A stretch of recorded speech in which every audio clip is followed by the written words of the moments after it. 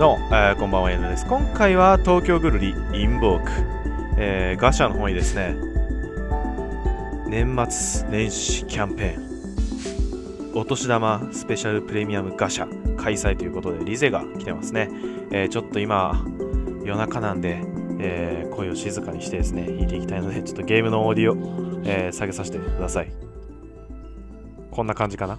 こんな感じ、ちょっとゲームの音量下げたんですけど、聞こえますかね？はい。ちょっと夜中なんでね。ちょっと早速スキルの方を見ていきましょう。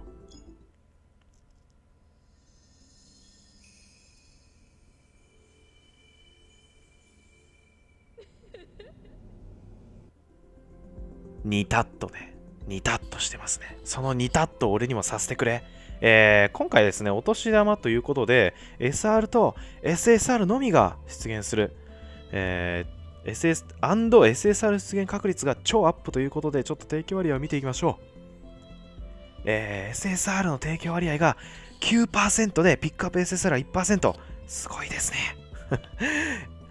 あの、これはですね、あの、10連すれば1回出ると。10連すれば SSR は1回出ると。ただ、リセが出るかは、うん、100分の1ということで、まあ、100連してみないと分かんないということで、はい。やっていきますか。じゃあ、連続化者10回いきましょう。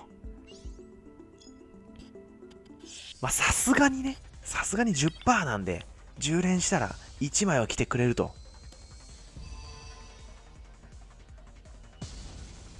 え？え？え？ちょっと待って待って、おかしいおかしいおかしいおかしい。ちょっと、もう一回いきますか。おかしい。おかしいおかしいおかしい。夢を見ていたようだ。10連と言いつつ、こっち20連ね。いきましょう。おかしいよな。よしよしよしよしよしよしよしよしよし。まあまあまあまあまあまあ、まあ、5枚ぐらい入ってんだろ。さっきの分取り返せ。5枚来い5枚。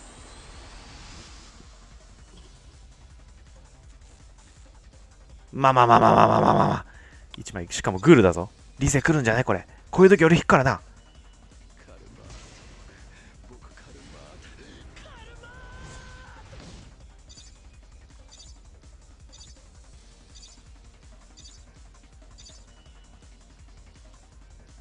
はい。ということで、今回は、カルマートさんでした。ではまた次回の実況動画でお会いしましょう。お疲れ様です。